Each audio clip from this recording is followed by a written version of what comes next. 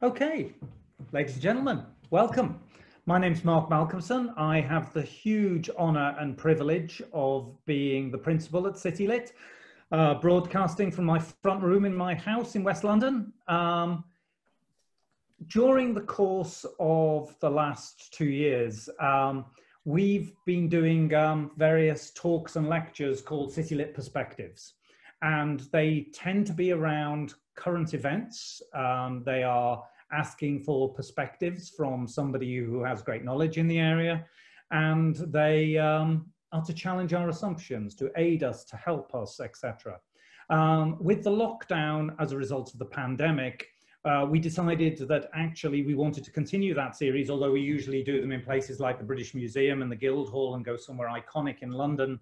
Um, this time, we've decided our community and our wider community are able to find and get support through us online. So I'd like to welcome the many hundreds of people who have signed on today for this. The first um, lecture we did online was about um, six weeks ago. Um, Sir Vince Cable, uh, former leader of the Liberal Democrats, and also a renowned economist, came and talked about the economy and the pandemic. And today I am genuinely delighted, truly delighted. One of my all-time favorite people, Ruby Wax, who is a fellow of CityLit. Fellows of CityLit are people that have a, a great um, attachment to our hearts. They're people that are deeply committed to adult education. They're people that um, help and support us and advocate for us. And Ruby has been a fellow now for four years. Um, she spoke at our first Mental Wealth Festival um, five years ago and did a, a wonderful session then. Um, Ruby and I have interviewed, I've interviewed her in, in London, in Barcelona. It's, it's just, it's one of those just fabulous relationships. And she just brings such amazing insight and particularly at this point, particularly when we're making that transition from what was strict lockdown to a, a an uncertain world of re-emerging and that that whole process could take many more months. Um, there's a lot of talk and a lot of comments around uh, mental health, well-being, mental well-being, the attachment to physical well-being as well. And that's why Wing City Lit, we wanted to bring that, that topic here as a perspectives conversation. So the format is going to be as follows. Um, a number of you have sent questions already. If those of you who are new to Zoom, there is a little function at the bottom called Q&A. That will send us questions. Unfortunately, because of the many hundreds of people on the call, um, we're not able to have you ask questions directly. It kind of doesn't work that way. Otherwise, we'd just be bombarded and not be able to hear each other. So at the moment, everybody's on mute. If you want to um, send us questions, we will try and filter them. I've got a little team working with me uh, behind the screens to um, help feed me the questions. I've already got 12 from people have already sent in advance and I'm going to go through them. And we're going to see where we go with this. Also, you will see my wonderful colleague Charmaine. She has to now say wonderful colleague about herself and gets embarrassed when I do that. Um, we have a one amazing deaf community at CityLit and a hard of hearing community. Many of them are logged on today. And so Charmaine will be interpreting both Ruby's and Mai's um, word. Um, and uh, that gives us an opportunity really to kind of reach out to many different communities. So that's where I want to start. But before I, I kind of launch in with Ruby, what we're doing, this is a free event. Um, what we're also encouraging people, we have a bursary at City Lit to enable people who maybe not have the means to be able to come to us as um, other students are. And we support them both in terms of their fees, but also in terms of maybe their transport costs, etc. And we've got a little 90 second video just to give you a sense of what that's like. So if you bear with us a second, um, and uh, we hope that the video will come through now.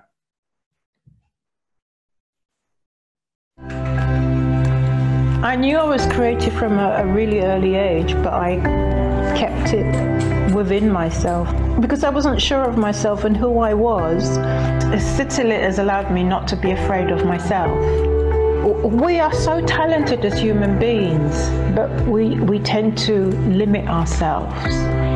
The bursary, it, it helps so many students in, in such a big way. It can help somebody who is feeling crap about themselves and it gives them the ability to want to live and to continue coming to college, learning something new, meeting so many people. It gives you a second chance. Coming here and getting the bursary is the best thing I've ever done in my life because my soul is actually singing. It's like I'm living again. Brilliant. Thank you. That just gives you a little context for those who are new to the college, um, because I know it's gone to a wider audience than just our usual students. But without further ado, I would like to welcome our great friend Ruby Wax and thank her so much for giving up her time in a room. Um, and uh, it's lovely to see people in their natural habitats as well. Usually we're on a stage with microphones, with an audience there. And now I can see what type of art you have and it's not my house. oh, right, okay. You've broken into somebody's. I have done because I didn't want you to see my house. That's brilliant. Ruby, we've, we've worked together now on, on mental health with you in the college for the last five years. When we first started, you were one of the pioneers. There was, there was you, there was Alastair Campbell, who helped us get our Mental Wealth Festival going. And we've really seen a change in um, how mental health is viewed during that time. A lot more people are a lot more open. A lot more people are talking about it from princes to footballers, etc. Um, so it'd be really interesting to have your view of how that change has happened. And then if you think about the last 14 weeks, do you think the openness has been accelerated or do you think you know how do you think this period has added to that five years? Has it moved us on or not? Mm. you know we've since we're all siloed a little bit for, for me to get a view on what, what's happened with the world it's, it's it's difficult. So i can only say through my telescope. By the way this is where i live. Sorry i didn't want you to it's not in london but it's just my room where i write in so that's that's okay just so you know. It's just one room. It's not a house. It's a little nano house. I needed to explain that. All right. So we're. When I started about 15 years ago, I did a show on stage, and in the second half, the audience would stand and ask questions, or I, you know, and I don't remember in the beginning. I think they were hesitant, but towards uh, the end, and some of these theaters are you know a thousand seaters you couldn't shut people up. And so that wave of um, kind of like it was gay pride but now it's about their mental health issues you could feel that um, tsunami starting to build. And to me that was you know to get a real slice of what's happening in, in the in the public's mentality. I don't know if that's in little crevices all over the country but certainly it's right in the face of the government. So they're always sort of saying, yes, yes, we're dealing with mental. Now they have to say the word mental health, you know, as if it really exists. Because before, I think they thought that we're a physical body with an air bubble that says things like, um, you know, it's either I feel really nice or I've broken. You know, they, they couldn't understand something so simple that mental is physical. You know, your brain is part of the whole, you know, package. So why would this get less attention? And they never put together, you know, I mean, I maybe because I studied it, that everything that happens not only in your body but in the world is because of just this organ so i don't understand why people didn't take it seriously you know if you fix the mothership crime addiction diabetes uh, you know certain cancers uh, abuse everything falls into place so it was something everybody was always avoiding but the numbers are now mounting you know it, it is one in four and now we're in a we're i don't want to spread there's enough bad news but um, it's almost uh, the, the doors have been unlocked. And I think it's, well, I'm certainly now doing projects, not just for the one in four, but the four and four, because there's going to be a pandemic. I don't want to depress anybody, but um, we had to just take care of one in four before, maybe, because everybody was busy. But when you take the busyness away, and now people had time to reflect in to their own inner state, it's not mental illness, it's a mental, we are frazzled. And, and frazzled is a neurobiological word. I didn't make that up. It's such a great word. It means stressed about stress. So we're all supposed to feel emotions. There's somebody came up with we're supposed to feel nothing. You feel um, stress, you feel anxiety, you feel fear. If somebody dies, you feel sad. But frazzled is feeling anxious about anxiety. And this is a new phenomenon. It's a soundtrack that we've done something wrong. That's now creating the next illness. It's not mental illness, but it does just as much damage on the, you know, the cortisol damage and the fallout in economics and in crime and in personal health is going to be phenomenal. So now we really have to address it. They can't turn their heads away. I mean, I guess the economy is a pretty big concern. but behind the economy are human beings. Yeah, and I think I mean I was I was deeply impressed by Sadiq Khan as mayor being so open in his interview at the weekend around how this particular circumstance. There is a man who's been hugely busy for the last three years as mayor, um, hugely committed, busy with people around him all the time and, and feeding off that, classic extrovert in a lot of ways, the way he describes himself. And now, kind of going into lockdown has really been difficult for him. And I think the more people tell their stories, and more people actually kind of make it relatable. I mean, we're not all the mayor of London and we don't all have a little entourage walking around with us and we don't have to go to lots of things. But you're absolutely right. I think this this idea of busyness and um, and constantly having to do things has become a way of. I think one of the phrases we're human. We've become human doings rather than human beings, and I think that's a lovely kind of phrase.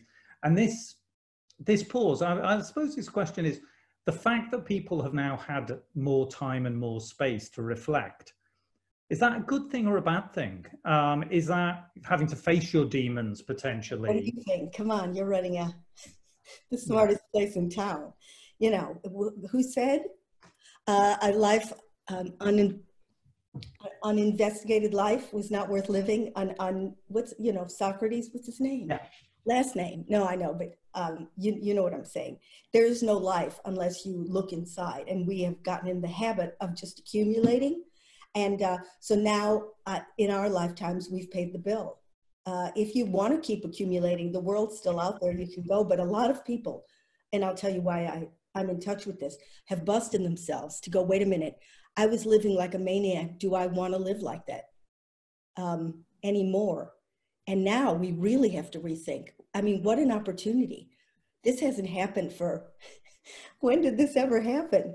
I mean, before the privilege could look in, or there was a philosopher, or, but you know, we have been running like a rat race to create this, uh, you know, kind of Kafkaesque metropolis of technology, which is magnificent. Nobody's happier than I am, but we forgot about ourselves. And now the day of reckoning came. Yeah, you could have used this time to look in and really evolve, or you could have used this time and gone mad. Or you can put it all behind you and just go back to how it was but I'm really behind the people that used it and evolved in secret behind the doors. An unexamined life. You know that. Come on, I was trying to help you. I know it's exactly. No, I'm, I'm a great believer in that. I'm a great believer in the sort of self-reflection piece. I mean, it leads to me one of the questions that we've had is, is you know, one of our one of our audiences sort of said, look, um, I have good days and I have bad days, but they, they it's much more of a roller coaster than it was when I was out doing things. Yeah, you think it was. You think it was. Um, you know, that everything was status quo, but it was an illusion. You know, now people are face to face with uncertainty. It was always uncertain. You didn't know if you were going to, but you didn't have to face it. Clearly, you're not the same person now as the one who, you know, um, was crawling on all fours, but humans are trained to not see change. Now, the rude awakening has slapped us in the face, so it's the existential crisis. Um, and I think as horrifying as it is, it doesn't feel good, but this is, this is um, examining your life. That's the most important thing a human can do. Is that what you meant? In terms of coping strategies, I mean, what have you found useful. Obviously, you've done a lot of work already, both in your studies, but also your self-examinations. But a lot of people are kind of coming new to this. If you're, you're relatively early on in, in looking at yourself and looking at your sort of psyche and how it's reacting to this, what, what, are, what in your view are the good beginners coping mechanisms that people can help with? You know, it's, it, it's not so much a coping mechanism. It's going back to what comes also with the human equipment, which besides fight or flight and the ability to claw something to death with our minds, because we don't have extensions like teeth, is um, is community. And because uh, I, you know, I have found a real cause during this time. Do you mind if I talk about it now? No, absolutely. Um, I started something four years ago called Frazzle Cafes, which actually were meeting places in cafes up and down the UK small groups of about 12 with a facilitator and they meet regularly in cafes marks and spencer's and free coffee and cookies and they could speak from the heart and it was like the you know getting back with the tribe in a way because i did feel incredibly lonely all my life and i always think speaking you know or saying something to other people is half the cure but we have to live in such and a lot of people don't want to bother with their friends and family because they don't want to show weakness. Somehow we got weakness in there, uh, confused with vulnerability. But anyway, I even went to those groups and it was like, I guess what Quakers felt or something, you were connected with all ages, all races, whatever your thing was, you could really feel that underneath all this plumbing and this skin, you know, whatever I design I was, you know, God, is is a human heart. And we're and that that's the lesson we need to learn. So because of the lockdown, I Frazzle Cafe has gone online. So I do a 100 people a day. And then there's smaller groups all day at all times where people, it's all free. You can meet up with 12 people. You go on frazzlecafe.org. I have to tell you, this has given me uh, a hope in mankind. And I feel closer to these people that I've never met before than I do with a lot of my friends. There's no crap. There's no whining. You know, you always think, oh, well, now humans, we are not allowed to talk about the news. Like, guess what happened? Because that just stokes us into fury. You know, we've, we, you know, you're not, but you're, the, you didn't have to go to school for this. People really know how to speak from the heart when they feel safe. And it's magnificent what they say. Each person is a kind of, some are rich, some are poor, some are, one woman is not going to be with us very much longer. She has something terminal. They're really young and they completely connect. Now, if that's not a reason to live, and that's not so hard, you don't have to make money for that. Um, and I really think it's the beginning, not because it's mine, but this is the beginning of a new era. If we can just pay attention that we're a team, we're not each man for himself. That's so that leads actually beautifully, Ruby. Um, by the way, repeat the, the URL for the cafe. Um, you go to frazzlecafe.org. Frazzled and Cafe. will get you to a meeting and uh, either one of mine, which is daily, not Sunday, and all day, uh, most days to a smaller meeting. Yeah. And the lovely thing is, is that you're no longer physically limited to go to the one in your local neighborhood. You can actually be meeting people from Middlesbrough and St. All over the world now. You yeah. know, I mean, this even uh, incorporates the, the, the notion we are a community. There's nobody cares about what color you are. Yeah, I mean that's an interesting thing. As you, as you know, City Lit is is a wonderful organisation. I'm not just paid to do that. I say that it's actually something I believe deep in my heart. Um, and we're about learning. And actually, it's hugely important whether you do one of the 6,000 courses. One of the things I found, which is, is so beautiful to watch in my nine years as being principal, is the cafe. And, and you obviously have Frazzle cafes, but it's where, you know, you will get people and you'll get somebody who is probably very affluent, somebody who is potentially going to Harrods or the opera in the evening or the evening, sitting next to somebody who might have been rec in recovery, who might have been homeless. And it's a great equalizer. And I think there's a huge relief for people, not necessarily just to be in their own little silo, yeah. to actually get a community that's much more random. Well, than... you have a, it's funny, a cafe. And there used to be town halls or maybe libraries when you could talk in them or um, it, that's what we're missing. Where's the community? you go to theater, everybody's facing forward. Churches and stuff, you know, we don't want to. Religion doesn't have to do with it. It's human. I mean, I'm, this is my obsession, and because you can feel it when it's there, no Yeah. question, you can feel it. I think it's also interesting you've seen bookshops over the last decade have coffee shops in them instead of it being Oh, the You know, I mean, there should be the sign that says, "Please talk." yes. What are you Um, looking in your book and you're on your phone? Now the next step is talk. So so you've got your cafes going. That's how you've sort of helped the community. Well, keep going. I mean, this shouldn't. This should just burgeon. And do you think that post pandemic the cafes will stay both online and also return? Um, we're not going to have it in a cafe anymore. It's no because it's it's got to move too quickly, and we want more and more and more smaller groups. And I just feel there was a gap in the market. You know, one in four were to kind of, you know, discussed. I don't know what the gov. You know, we know that they always needed help. you know, these one in four. And money was promised and they weren't. Now I know that there are some places online because we direct people to it where you can get online therapy. It's not enough, but it's for the one in four. I'm trying to fill the gap for the three and four, which is everybody. Um, and if that doesn't start uh, at least calming down that frazzled brain, which which human connection does, you don't have to learn a tool. Human, it automatically we work like neural Wi-Fi. I don't know who said that expression. We calm each other down. Um, if we don't if we don't find something for the three and four as i say i i don't want to be the bearer of bad news but the word um, if you think there's i'm so used to people really there will be um, what can i say an, another little bit of a pandemic where people will go crazy because the, we don't we don't have tools how to deal with this are we supposed to believe everything's going back to normal now you know clearly all these things like we've done a, it has to be discussed. You have to process trauma. This has been a trauma. So if you don't have a place to talk about it, you're going to carry it around like a grenade. Well, and actually, I, I, want to explore that a little bit. I've got some very specific questions about people of that thing, but but this this idea of the whole and this this trauma that we've been through, I, I think that's not not enough people are talking about that. They're talking about individual challenges, but actually, this has been collective trauma.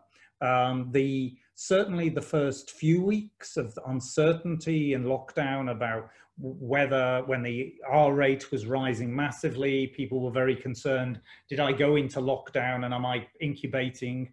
You know, the the journey and the roller coaster has been really difficult for a lot of people. And i think it's then when it's how how it's been difficult. Those people who are locked down with families that are good and it functions that's been mitigated some way. Those who are in abuse i mean the, the epidemic around spousal abuse and child abuse that's happened as a result of this is going to be something that we live with for many decades. Um, but also the the loneliness piece. I think that of the people who have been on their own week in week out. Yeah they've had their zoom calls etc but literally there is something around the physical sight of somebody you know that obviously fires bits of your brain that staring at a computer or being on the phone doesn't do it. Yeah. you're you're very the, the thing i love about you is is you very much humanize the neuroscience.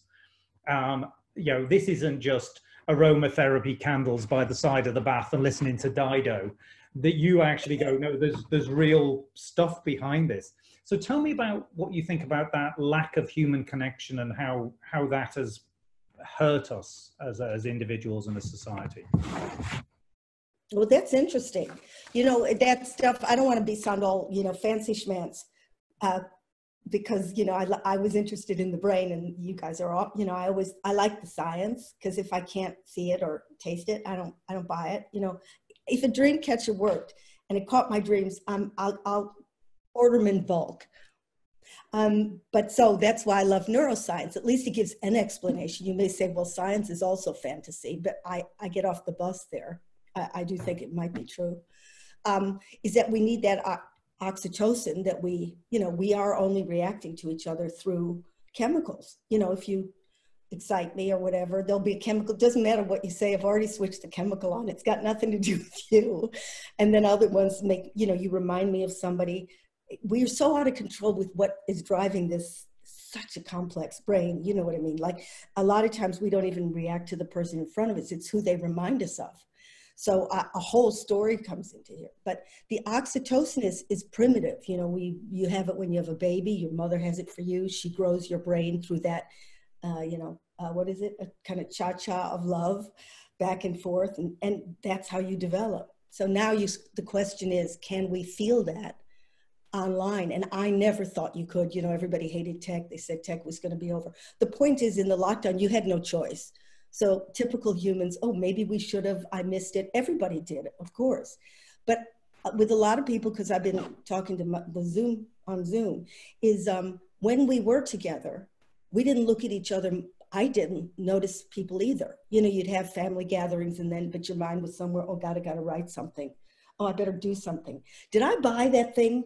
even when you were with people, we weren't focused because we were, what's somebody called it? We were at the mercy of weapons of mass distraction. And so by accident, now you're on Zoom. Now you got nothing else to do. You can't go on the phone because we're talking to each other. And suddenly, I feel that flowing. You can feel it. Uh, there's like a, maybe if we meet and we hug, it'll be even better. But a lot of people say this is the, the next best thing to hugging except these are strangers. You couldn't get away with that. Um, so I do believe, well, look, can I be crude? People get excited sexually by looking at something online. So don't tell me that it stops the hormones. You can fall in love, you watch a film, you cry, you whatever. It's not the answer. But let's acknowledge that you might just be focused on people more. In some cases, we can't keep it up online than we were offline. I think there's an interesting. One guy, sorry, one guy said by doing the Zoom, he's training himself for compassion. He's training his compassion, so when he gets off, he'll be able to focus it. It's a good training. Uh, Last week, I I had, a couple of colleagues and I had to go back into the college to start working on some health and safety things. And after not having seen them, I, I adore my colleagues. Is I wanted to hug them, and then suddenly, you're you can't. The world has changed. So it, it's not even i think i think a lot of people in society i think what happened particularly those who are in the world of work we um, we had this horrible kind of twilight period of shutdown not shutdown then it was announced there was a shutdown. We grabbed our laptops flicked the lights off and headed home and it was very disjointed it was but it was it was very fast in a way yeah and i think human beings tend to latch on to some degree of certainty. So I think I'll speak for myself is I assumed one day you'd grab your laptop, go back into the office, flick the lights back on, and magically it'd be like one of those films where all the carousels started moving again, and we all ah, the music came back in a matter of seconds. And that was the reality last week. It was going the the world of masks, the world of wanting to really connect physically as well as emotionally with people you I've, I've been talking to a lot of my team regularly. But actually the physical seeing you do. You have hormones you you yeah. it releases a joy. And then suddenly that joy is mingled with fear going yeah that person on the tube went past me a little bit faster. that, that's the downside yeah because now each one of us a kid could kill you you know what i mean uh, uh this isn't paradise i'm just saying I'm, t- I'm focused on the one aspect of a lesson I've learned. Yeah, I mean, it's like dodgems out there. Yeah, exactly. I think, don't hold me, you know, move away. Yeah. If think, you're aware of it, it's, it won't. Yeah. When I've you're not aware and you suddenly scream at a kid that you're in trouble. Yeah. Ruby, I've got a, a very heartwarming kind of um, pre-question that came in from a, a, a lady called Dorothea. And um, she talks about um, she's older, she's on her own, she's been now isolated for over to three months, she's not seeing her family. Um, and she talks about, you know, people, uh, we are advised to live in the present. However, the present is really horrible and challenging for people like me living alone in an older age group. It's not possible to make plans for the future, which is still uncertain. I find myself alone at home day and night, having nightmares and vivid dreams regularly. as well as having intrusive thoughts about the past and reliving past events and feeling quite down at times. And she goes on, and, and I, I just, she's basically at the end is, is give, give me some clues about how I might have better coping devices for this period that still, for certain groups, might go on for a lot longer than others of us. Um, any any thoughts and any advice? Look, how do I know? You know, we're all different fingerprints, but just Dorothea, come to frazzlecafe.org. You'll meet your ilk. You know, I mean, once it, once you start talking, that's how trauma works. Nothing goes away. P.S. Whoever told you to live in the present, but that's a bigger discussion. But um, you need company. You need human company, and you need some kindness. I, I, if you can't get out of the house, we have to start looking for substitutes. Otherwise, that frazzle thing, which is, oh my God, this is going to go on forever. You know, this is all dialogue. It's not reality. You know, you might be in, but tomorrow the world might end. Tomorrow there might be a vaccine. But anyway, this isn't. Everybody's got this self-talk. I'm talking to people who have their kids are screaming in the background, their, their husbands are making them crazy. Other women oh, totally alone and terrified to go out. Other, we're all in the same predicament. It's not a contest who's got it worse, but connect as fast as you can. I mean, if she's got relatives or friends, maybe they could just bang on the window. It's somebody, she could start writing letters, you know, emails to people sending love without asking for anything. It's an impossible scenario. I mean, if I didn't create Frazzled, I would say, I don't know what to do. I, it's not the only answer, it's all I've got. But it's, it's that idea of, I think being, you know, we're terribly British in a lot of ways and we're quite reserved. So I think we'll, we'll have to be Invite. Don't this British thing. I mean, I'm living in this country now 35 years. These people will not shut up if you go to America, a lot of times it's crap. You think it's communication, but it's just air noise. Fear is fear. It's international. Okay. Though you know there is no break. Once people start communicating, they become human. If they don't, your insides don't know where you come from. So, um, and we liberate each other. So I don't don't give me the British thing. No, I, it was actually in my in my defense. What I was saying is we we like to be invited in. Well, I'm inviting you. you are invite, that's exactly what I was going to say is Dorothea and anybody else who's on this call or anybody else does it, you are invited. That's the point is you don't necessarily, if your present communities aren't working for you in the way that they traditionally did, or if you were feeling lonely before. So quite a lot of people in this country were feeling very lonely yeah. for this, and this has made it worse. Is don't feel that somehow you've got to invent this on your own. I mean, Ruby's done a phenomenal job in creating this environment where you can go, and she's just invited you. You know, the, the it's it's out there. It's a big, you know, nice little thing with gold leaf around the edge. It's being posted to everybody out there. Um, I think that's really important to know that you're invited. I have, I can, I can be proactive without being rude or being intrusive yeah. or whatever. I can go to form a community. And also, in a way, um, the anonymous nature of it. I was just going to say, you're anonymous. You don't have to use your real name. Uh, you know, you can uh, choose to turn off the screen. Um, the point, there are, we had somebody a few, a few times saying, you know, I'm scared to speak and now I am. I never feel like I exist, but all these faces make me feel that I'm here. It's just touching when they start to go. Yeah. People really never felt that they are here or that they're um, appreciated. So, uh, you know, Dorothea, I'd love to identify yourself when you come, unless you'd like to be completely anonymous. No, that's lovely. That's really helpful because that's a very, very tangible thing.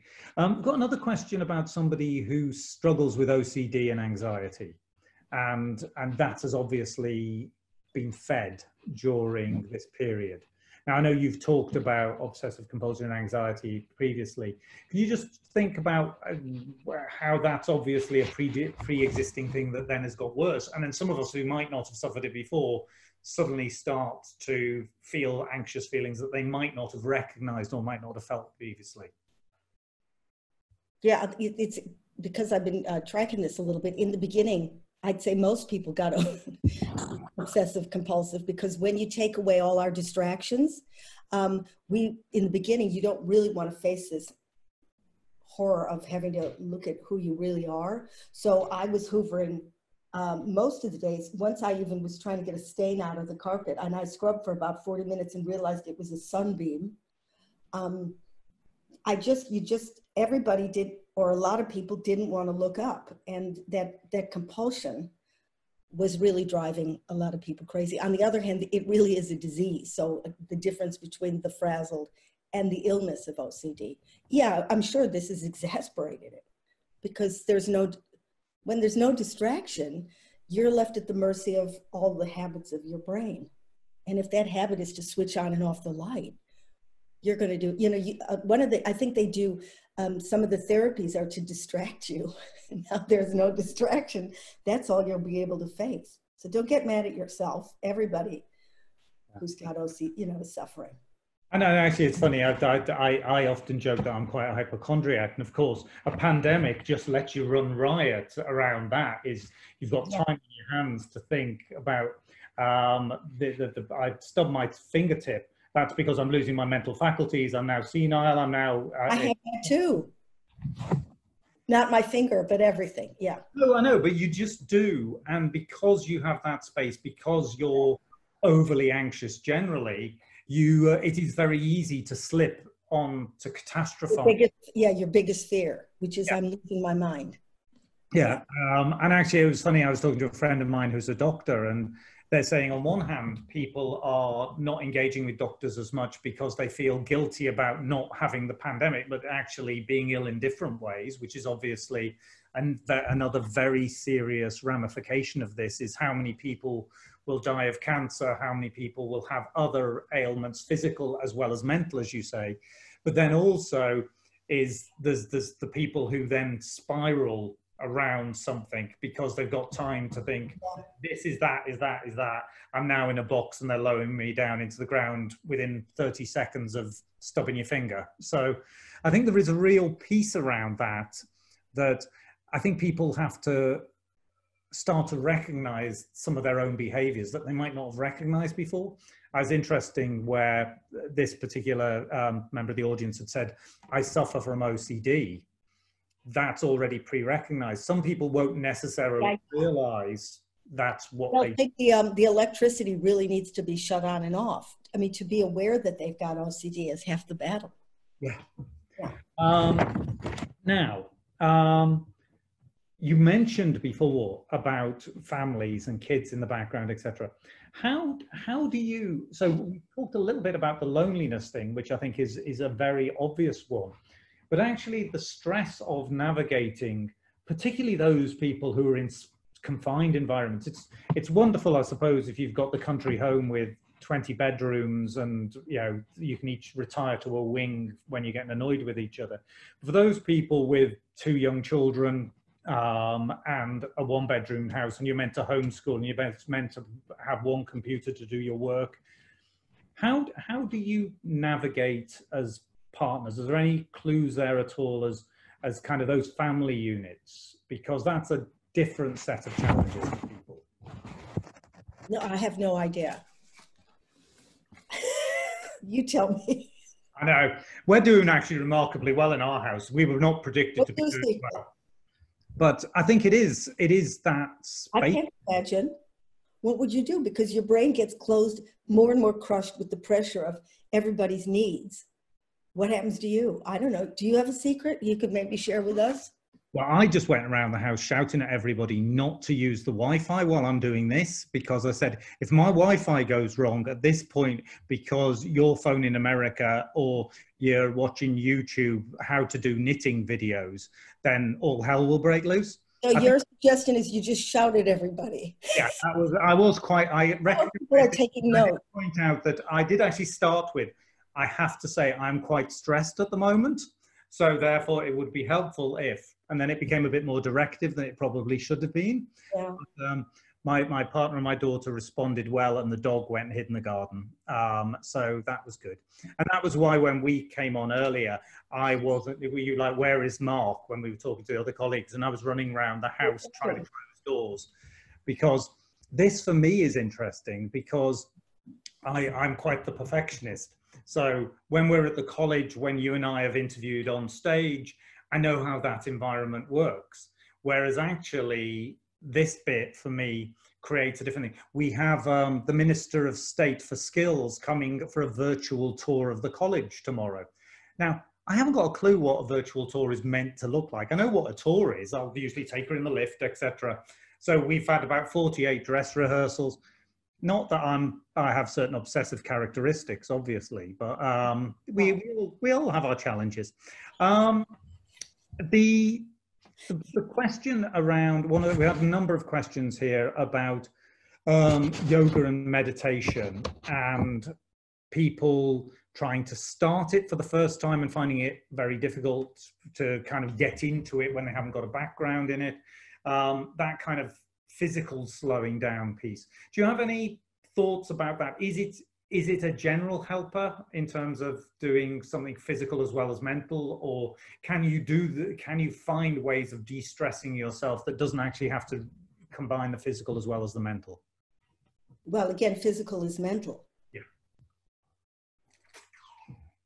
um, some people are reacting, you know, when they read about people doing yoga or learning Japanese, get even more upset because they, it makes them feel more inert. So I'm not going to say, you know, it depends who you are. It's like saying stop drinking. If you're too stressed, there's too much cortisol going on, you can't think straight. So it's not helpful for somebody to say, now is a good time to get healthy. I, again, I'm sorry, uh, maybe I'm fanatic Mark, but um, the Frazzle Cafes begin and end. I lead them into mindfulness. And even if they've never done it, by the way, the whole thing isn't about Frazzle. I explain it, I do it for one minute. You can feel the cortisol come down. I give an explanation as to why that happens. And then we're on a flat playing field. But it's like learning anything like uh, tennis or a language is you have to do it all the time and really uh, understand it's not difficult it's a consistency but if you read if you're interested mark williams book or my book frazzled where i'm imitating i mean i'm i'm making it funny what mark is saying even though he gave me permission to do that. And i make it more practical so you could do it while you're gardening. Um, is that learn from an expert. If it's or go to headspace that's that'll train you. And if it it's it's a horrible it's like learning piano. The first few days are kind of horrible. And gradually gradually you start to like yoga too. If it's eventually starts to make your mind slow down or not slow down but just be more aware there's no words for this because it sounds like i'm saying this is the goal of it um, then it's for you and keep the practice up but i wouldn't say here start this or start this it's too um, challenging but you know, there are people who teach mindfulness. You can read about it, and if it's your thing, then do it. You have to do something though. People, we always think, well, when's somebody going to give me a tool? No, nobody is. If you really want to settle that cortisol and get off the frazzle track, which doesn't mean you'll be blank, it means at least you won't be anxious about anxiety and create the stories. It gets down that second tier then you have to do something like mindfulness or yoga or Tai Chi or martial arts, or there's infinite possibility, well, not many, but it's brain training. It's not Sudoku, it's not butterfly collecting, it's not mindfulness through drawing. Those are distractions. But mindfulness and yoga, it's a, there's this particular technique that exercises a part of your brain. And that's the only thing that works, you know, is bringing the focus into the body. Otherwise, the mind will take you on rides you're going to live 90% of your life mind wandering and then you're going to die. so you have to do something if you really want to get this uh, ability to be able to investigate your life. Otherwise, it's too frightening. And I think mindfulness and yoga and all those give you an anchor. So when the brain starts going crazy, and all of our minds do, you've got an anchor, you've got safety to come back to. It's unless you're a natural. You know, some people won't know what I'm talking about. They're able to think clearly. They're able to enjoy the weather. They're fine. I've never met anybody like that, but I, I know they're out there. I think it's funny. You you touched on well, you touched on so many good points there. But one of the things is a lot, a lot of people are beating themselves up because they were. Um, Should have done something. I, I've you, you know I've been locked down for 14 weeks. I haven't written the great American novel. I haven't learned how to do topiary with the um, tree at the back. I haven't. I haven't. I haven't. And and that has become. I think particularly at the beginning there was almost like a competition with all of these. The amount of How we people are. who have made That's how we are. sourdough bread. Have you made sourdough bread, Ruby? No, I eat it though. I know, but seriously, I'm making toilet paper because I think that might be a commodity yes, exactly. out of out of flour. Yeah, and and because well, I mean, if you look at the beginning of this, it was you know, and I, I liked it in one way that this is an opportunity to do things, but only if it was an opportunity Yeah, as opposed to something else. I will now beat myself up over because it's a very good reflection on how you we used to live. It's nothing new. We were always like this. How many books did you read? I read more. How far do you jog? I read more. It's the way we always were, except in isolation. Now it's in your face. Yeah, and I mean, what is is is that? I th- I think that bit has died down over the last few weeks. I don't think there has been that much of that competitiveness. I think that that has there's found a different rhythm in I society. hope, so. I hope you're right. Yeah. That But the question now, I suppose, is I've got a few questions as we we come into the last ten minutes. Is is have you got any thoughts about if if for those people who have found good behaviors during this and have found a better sense of space and a bit more self-reflection for those of people who've done it how do you maintain it when the world the kind of carousels start turning again how Mark, do you, everybody has that question. You know, I hear it every day. How do you maintain the kind of maybe insight you found? Yeah. I don't know, but I hope I hope we all do. Yeah. It might mean we have to change our lives unless you work. You know, you, you know, necessity will pull. You know, mean you got to go right back to the grind. It's no good if you need money. Yeah. But but maybe you, there's a way to change your life every a lot of people that are interesting now are saying i don't want to lose this of all ages so let's talk again yeah. I think what's interesting for me is um, is the work, the world of work, the working habits. So a friend of mine has been responsible for starting to re-engage their organisation, big international organisation, and uh, they had uh, 1,700 employees based in London. And they went out and said, for those of you who want to return, we understand some of you want to return. Um, we, we need to know the numbers and the protocols.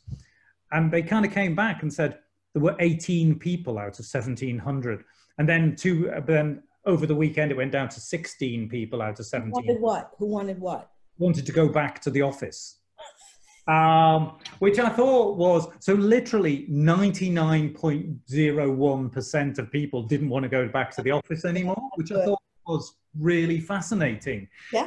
um, so maybe something is changing in society now I've got one question which I love. You'll probably throw it back to me and say that. Okay, you. pr- I I love the way to. You practically have your own section in bookshops now of the books that you've written.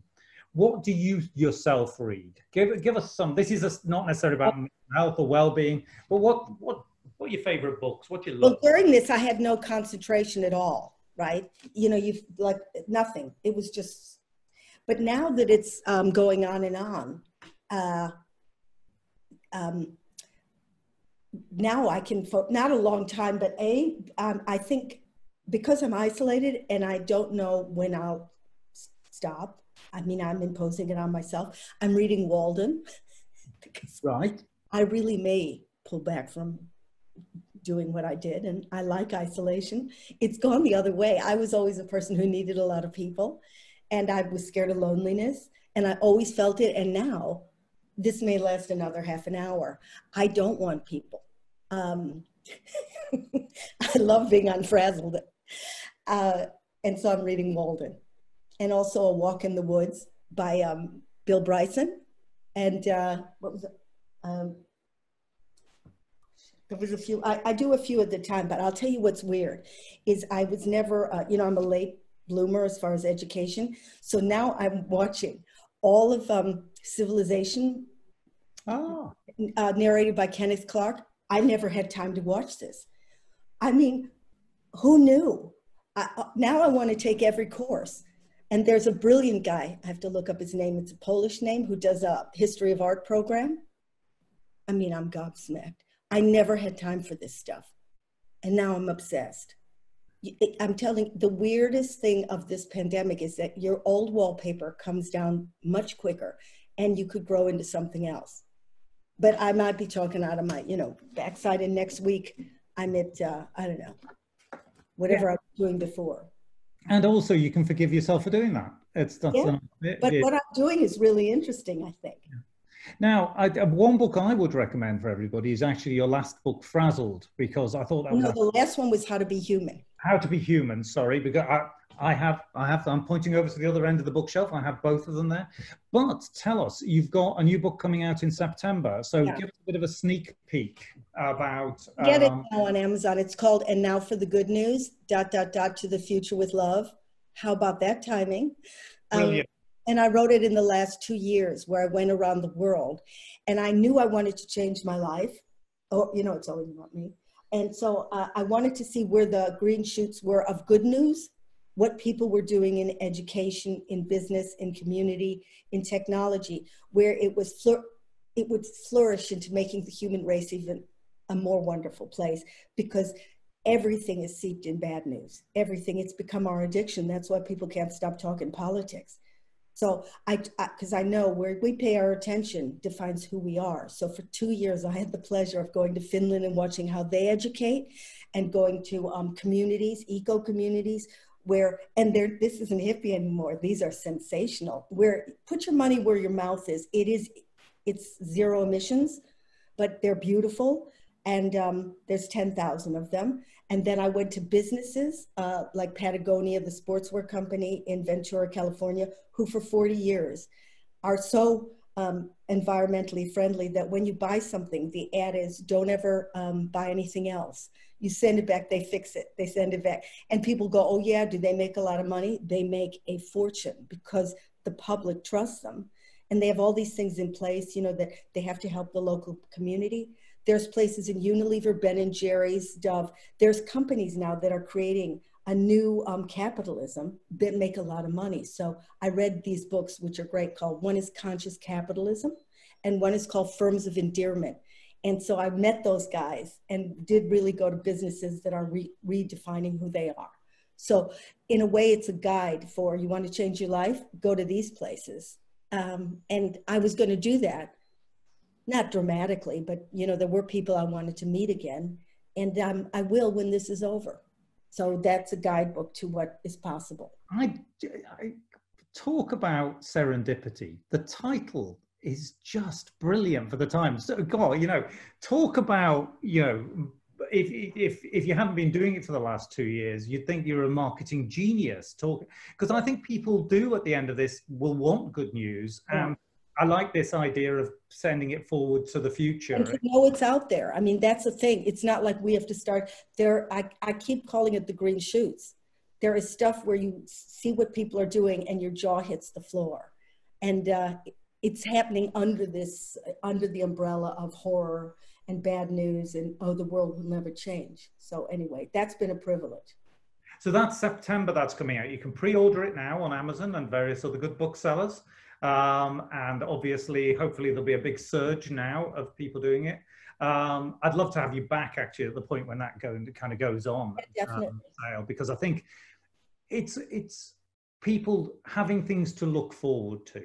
I think a lot of the things in the news is is yes, the gym might open, but there's only one person allowed in and every five hours. Everything now comes with a set of instructions as long as you're on, and just actually having unalloyed joy, some things that are actually positive to talk about. I think that's that's a lovely um, lovely title, and it's uh, the way you describe the book. I think that's absolutely magnificent. Um, what we're getting, just in terms, just so you know, because I don't think you can see the Q and A, Ruby, is, is that we're getting a load of comments from people who've done the Frazzled Cafe, and just wonderful. So you're getting a lot of testimonials, which is okay. great. By the way, just one point somebody made out is it's frazzled Cafe. It's a D because some people have been putting in saying it's Frazzle. And so just to make sure people get to the right link. Um, and what we will do is we'll send a little sort of thank you email out to everybody afterwards, and we'll put the link to the cafe and also the link to Ruby's new book. Um, I think my my final question, which I'm I'm I'm begging you answer in the right way, is is there, there is cause for optimism after all of this. I mean, there has been a huge amount of negativity. It has been very difficult for a lot of people. But actually, one of the things I've got, and I'm very energized by this over the last hour, is, is if you focus on the positives around it and try to not, not, not dismiss the difficulties people have, but yeah. actually try and focus on some of those things, some good can come out of this. Is that what yeah, you... Except positive to a person who's got depression or whatever exasperates their depression. So the main thing, first of all, I think is to find some tool to get that cortisol down, either through community or meditate, mindfulness or you know, or listening to some kind of headspace, you know, just get it down. You can't make decisions if you're in a red mist. It's impossible. And don't beat yourself up because you're in a red mist because there is a red mist. Brilliant. Ruby Wax, it is just, it's, it's, such a delight to have you back. It's always a little stressful in advance because I'm not quite idea where you're going to go on things, but it's, it's just brilliant. And you are a ray of sunshine um, in these times. Um, I think your idea of Frazzled Cafe has, was yeah. ahead of the time and now the adaptivity of taking it online, I think, has, has probably made a huge difference to many hundreds and thousands of people in the country. And hopefully as people on this might take and get involved with them and also tell their friends. Yeah. That's the thing. So what we will do, everybody, is we'll send the link out to everyone afterwards. And as I said, the link also to Ruby's new book. And I can thoroughly recommend How to Be Human and Frazzled and the, the whole back catalogue of Ruby. Um, they're all marvelous. And I just thank you for sharing this last thank hour you. with us, Ruby. It oh, it's really fun, Mark. I like talking to you. And um, Thank you. And thank you to the marvelous Charmaine who has worked marvelously. Thank you, Charmaine. And um, one, one just little thought. Um, a comment just came in from um, one of our deaf students is, can um, everybody remember that um, when we go to masks and things like that, that can be very exclusive, uh, exclusionary for deaf people because obviously they rely on being able to be visible with um, the mouths. So I think that's a little PSA, public service announcement at the end. But our deaf community have had lots of isolation and lots of different forms of isolation um, predating this. Yeah. So be conscious of um, other communities like the deaf community and ensure that um, you in your re-engagement society make their lives easy as well. So that's one just little comment I saw came up just at the last minute. But for those of you part of the CityLit community, thank you so much for being supportive of us, joining us online for this, and hopefully, as Ruby says, you can learn art history, you can learn politics, you can learn music. At CityLit during this period, we're doing as much as we can online. We have over 1,200 courses at the moment running. And then come in September, we'll probably start to have some things back in the college, but the majority of things while we're working out social distancing will remain online.